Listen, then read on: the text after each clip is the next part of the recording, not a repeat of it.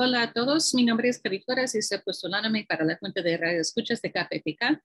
Creo que necesitamos expandir y mantener nuestra programación en español y promover una estación de radio verdaderamente patrocinada por los oyentes, impulsado por la gente.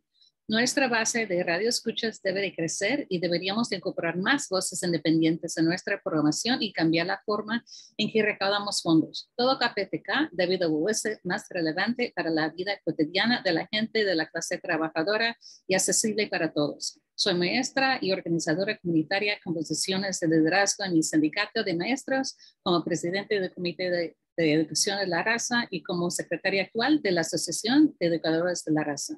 Creo que es hora de que APFK vuelva a su misión regional y refleje y represente la lucha del pueblo y no la de una agenda cooperativa y reformista.